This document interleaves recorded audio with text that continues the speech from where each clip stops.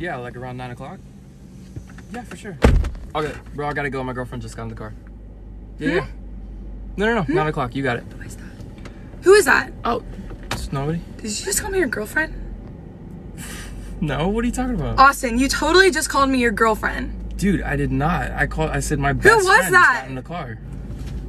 You did not say best friend. Bro, I did. I said my best friend just got in the car. Listen, I've been tripping all day, but I know I heard girlfriend. Dude, I kid you not. I said best friend. Is there something you want to tell me? No, we're good. This is gonna be so awkward. Did you just call me your girlfriend? We're filming.